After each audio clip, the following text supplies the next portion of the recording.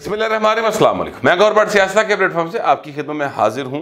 खबर यह है कि क्या मलक रियाज का पैसा काम कर गया या जजों के वाकई ज़मीर जाग गए या ये सारा कुछ इमरानदार जज होने की निशानियाँ हैं? ये सारी वो गुफ्तु है, जिसके ऊपर मैं ये व्लॉग करूँगा।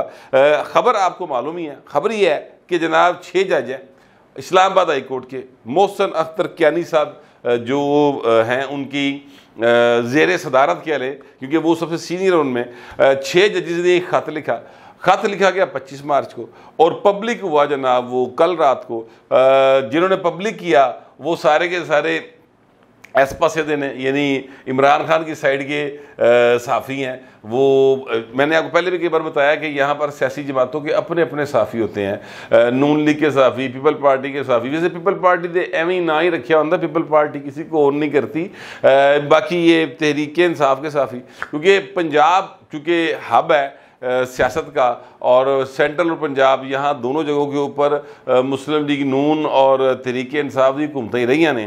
पीपल्स पार्टी के एवं बीच डंग डपाऊ पार्टी के तौर पर रोल प्ले कर रही है। तो लिहाजा उनके अपने कोई साफ़ी नहीं है। साफ़ी इन दोनों जमातों की हैं, क्योंकि मुफादात हों या यूँ कह लें कि हमदर्दियाँ हों इन दोनों के साथ ही लोगों की हो सकती हैं।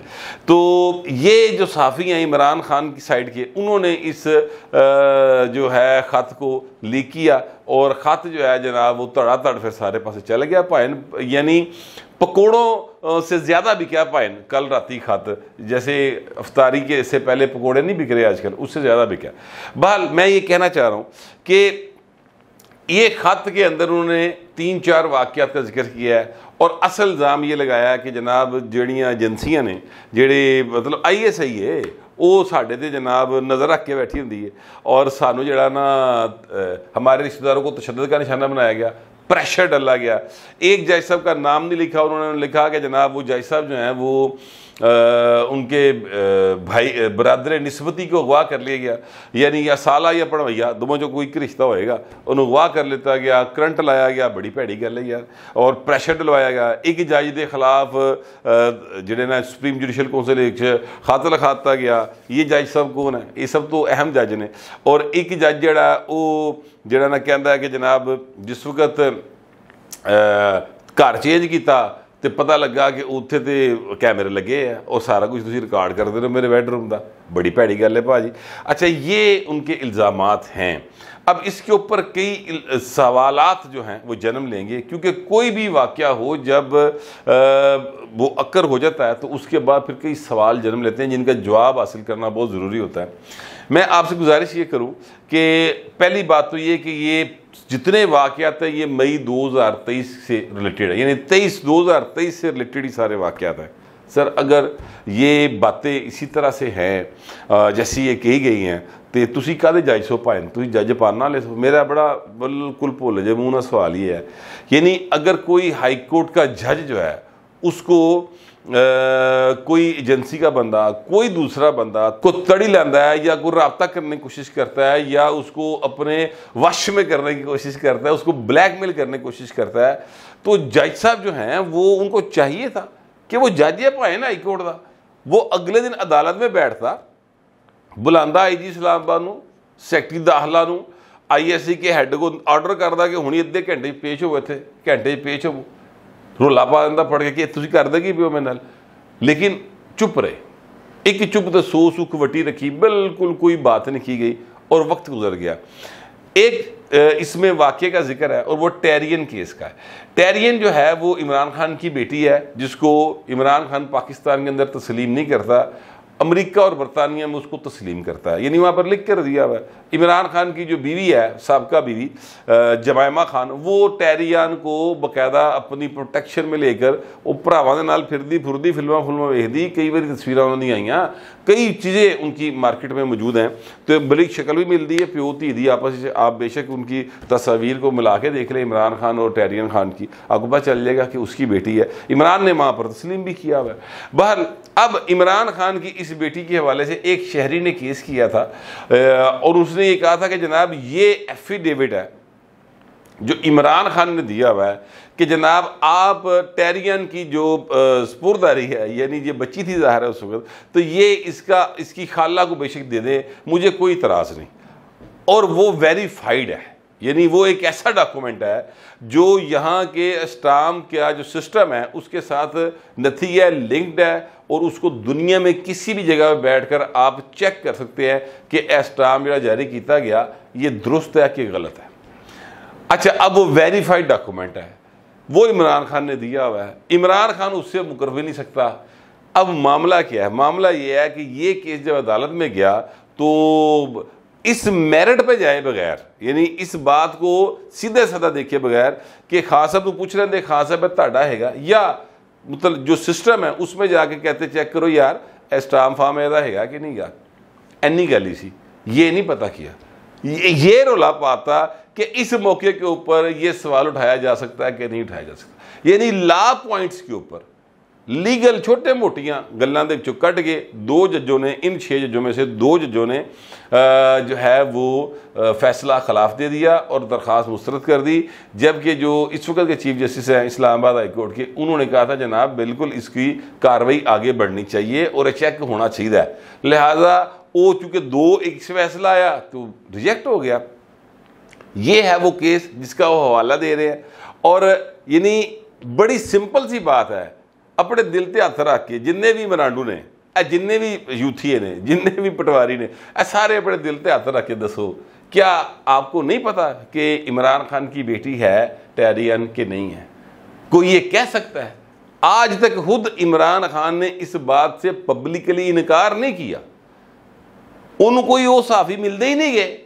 ਜਿਹੜੇ ਉਹਨੇ ਸਵਾਲ ਕਰਨਗੇ ਯਾਰ ਖਾਨ ਸਾਹਿਬ ਸਾਰੀ ਗੱਲਾਂ ਛੱਡੋ ਤੁਸੀਂ ਟੈਰੀਅਨ ਤੁਹਾਡੀ ਧੀ ਕਿਹੜੀ ਧੀ ਹੈਗੀ ਬਸ ਇੰਨੀ ਗੱਲ ਪੁੱਛਣੀ ਹੈ ਉਸ ਤੋਂ ਬਾਅਦ ਖਾਨ ਸਾਹਿਬ ਦੇ ਰੰਗ ਉੱਡਦੇ ਵੇਖਣਾ ਤੁਸੀਂ ਉਹ ਕਹੇ ਕਿ नहीं है वो कहे कि है ये सवाल कोई नहीं करेगा उनसे क्योंकि उन तक पहुंच ही उन लोगों की है उनको पहुँचाए उनको जाता है जेड़े भाई जाके वाह वाह तुसा बुझ गया दिलों दी चोरियां साडा भी जी सी पकाई जी चोरियां यानी सारे के सारे खुशामदी साफ़ी वहाँ तक पहुँचते हैं यही मसला है ਮਾਜ਼ਰ ਕੇ ਸਾਥ, ਇਹ ਮਸਲਾ ਸਿਰਫ ਇਮਰਾਨ ਕੇ ਸਾਥ ਹੀ ਨਹੀਂ ਇਹ ਦੂਜੇ ਪਾਸੇ ਵੀ ਇੰਜ ਦਈ ਹੈ ਇਹ ਚੌਧਰੀ ਜਿਸ ਵੇਲੇ ਪਰੇਜ਼ ਲਈ ਵਜ਼ੀਰ ਅੱਲਾ ਸੀ, ਉਦੋਂ ਤੱਕ ਉਹ ਚਾਰ ਦਾ ਟੋਲਾ ਸੀ, ਜਿਹੜਾ ਉਹਨੂੰ ਜਾ ਕੇ ਕਹਿੰਦਾ ਸੀ, ਵਾਹ ਵਾਹ ਵਾਹ ਵਾਹ ਚੋਈ ਸਾਹਿਬ, ਵਾਹ। ਬਸ ਉਹ ਚੋਈ ਸਾਹਿਬ ਦੀ ਵਾਹ ਵਾਹ ਕਰਦੇ ਕਰਦੇ ਉਹ ਚੋਈ ਸਾਹਿਬ ਐਸਰੇ ਜਨਾਬ ਪਸਰੀਆਂ ਦੌੜਾ ਕੇ ਅੰਦਰ ਪਏ ਜੇ ਠੀਕ ਹੈ? ਔਰ ਇਸੇ ਤਰ੍ਹਾਂ ਜੋ ਮੀਆਂ ਨਵਾਸ਼ਿਫ ਨੇ ਭੁਗਤਿਆ, ਉਹ ਵੀ ਵਾਹ ਵਾਹ ਕਰਨ ਵਾਲਿਆਂ ਦੇ ਵਿੱਚ ਰਹਿੰਦੇ ਸਨ। ਤੋ ਫਿਰ ਭਾਈ ਨੂੰ ਵਾਹ ਵਾਹ ਸਾਰਾ ਭੁਗਤਿਆ ਵੀ। तो अब बार थोड़ी सी उनको शायद जो है, क्या कहते हैं, उन्होंने सबक सीख लिया और अब कुछ ऐसे साफियों से भी मिलते हैं, ख़ासतौर पर मरीम नवाज़, या उनसे, उनके सवालों के जवाब देते हैं, जो उनकी मर्ज़ी के सवाल नहीं करते, बल्कि इंडिपेंडेंट सोच के साथ सवाल करते हैं। इंडिपेंडेंट लोगों के साथ ही मिलते रहना चाहिए, हुक्मरान ता ही सीधे रहते हैं, और गलतियों का अंदाज़ा तभी होता है अगर आपके इर्द गिर्द हर वक्त यही होता रहेगा कि तुम बड़े ज़बरदस्त हो तो कोई भी हो भाई यार ਉਹਦਾ ਦਿਮਾਗ ਖਰਾਬ ਹੋ ਜਾਂਦਾ ਖੁਸ਼ਾਮਦੀ ਹਰ ਇੱਕ ਦਾ ਦਿਮਾਗ ਖਰਾਬ ਕਰ ਸਕਦੇ ਹੈ ਇਹਨਾਂ ਨੇ ਤੇ ਦਿਮਾਗ ਖਰਾਬ ਕਰਕੇ ਮੁਗਲਾਂ ਨੂੰ ਭਾਵੇਂ ਮਰਵਾਤਾ ਤੇ ਇਹ ਤੇ ਜਿਹੜੇ ਅੱਜ ਦੇ ਹੁਕਮਰਾਨ ਨੇ ਇਹ ਤੇ ਵਿਚਾਰੇ ਕਿਸੇ ਖੇਤ ਦੀ ਮੂਲੀ नहीं है बहर मैं आपसे गुजारिश करूं कि अब सवाल ये पैदा होता है कि कल ही के दिन वो जो बुशरा बीबी हैं उर्फ पिंकी पीरनी हैं उन्होंने इल्ज़ाम लाया जनरल आसम मुनीर थे और दो तीन जो लोगों के ऊपर, जनरल, जनरलों पर। और फिर साथ ये कहा कि मैं बाज़ ज़मीर लोगों को से मुखातिब हूँ। रात को ने ज़मीर जाग गया, इंज करके हाथ आ गया। क्या ये को इंसिडेंस है? क्या ये को इंसिडेंस है कि मलक रियाज के जितने भी केस होते हैं, इन जजों के पास आते हो तरीकें ही पी जाती हैं।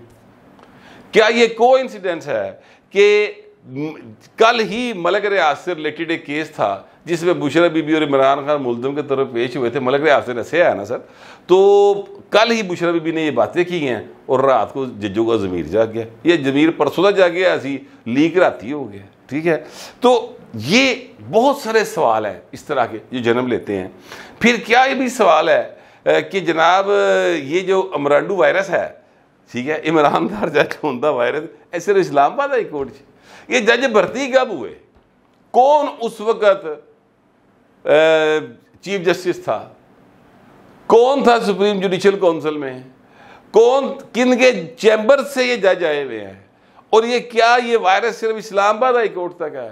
पेशावर हाई कोर्ट च नहीं गा लाहौर हाई कोर्ट च नहीं गा क्या वो जो है सिंध हाई कोर्ट वहाँ पर नहीं है? चीज़ें बहुत बड़ा प्रोजेक्ट था भाईजान ये।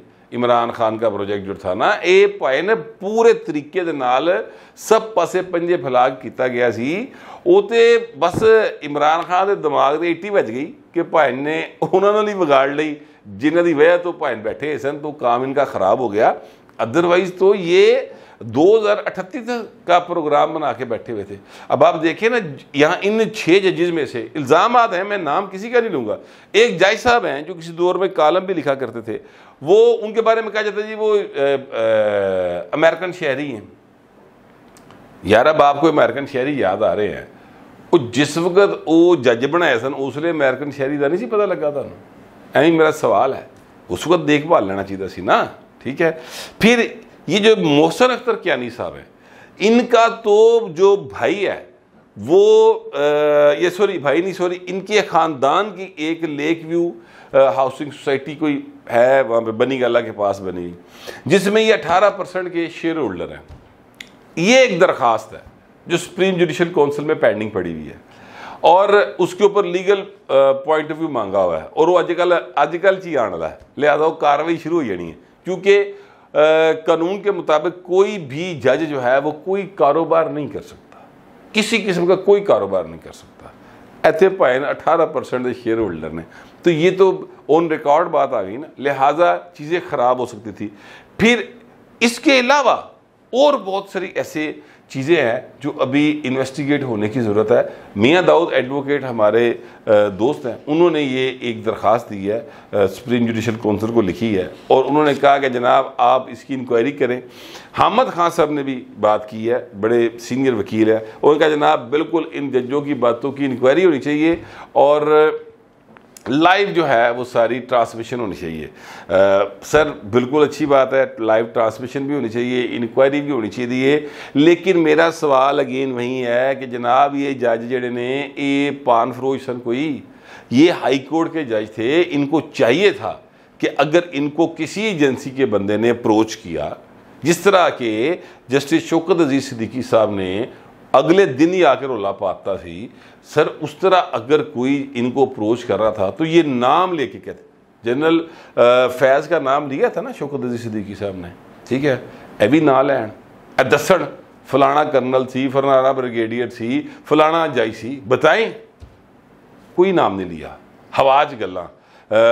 हो सकता है कि अभी डरते हों तो अगर डरफोक हैं तो सर किसी सूरत भी इनको हाई कोर्ट का जज कम अज कम नहीं होना चाहिए। इन सवालों के साथ साथ मैं आपके सामने एक हल्फ चला रहा हूँ, जो कि तमाम जजेस, जो भी इस मुल्क के अंदर जज बनदा पाई वो ये हल्फ लेता है। और इस हल्फ में बहुत सारी बातों का वो वादा करता है। और साथ ही साथ एक बात भी वो कह, ये भी कहता है कि पायनल आद जो भी हों, मैं इसको पंजाबी में थड़े की ज़बान में बता रहा हूँ, मैं हर सूरत में पर्सनल इंटरेस्ट से अबव हो गए।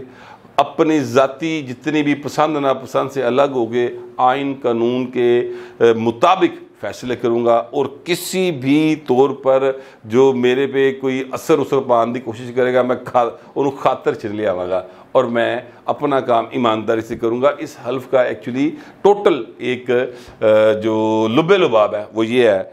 अब मेरा सवाल ये है कि जनाब, जिन जजेस ने ये इल्ज़ाम लगाया है कि ये सारा कुछ हुआ मैं उनके इल्ज़ाम को रद्दी की टोकरी में नहीं फेंक रहा। मगर उनके इल्ज़ाम के बाद कुछ सवाल उठते हैं और वो सवाल मैंने आपके सामने उठाए हैं। और आखिर में मैं सवाल ये उठाना चाहता हूँ कि जनाब, अब इन सारे जजेस की आप के सामने कारकर्दगी है।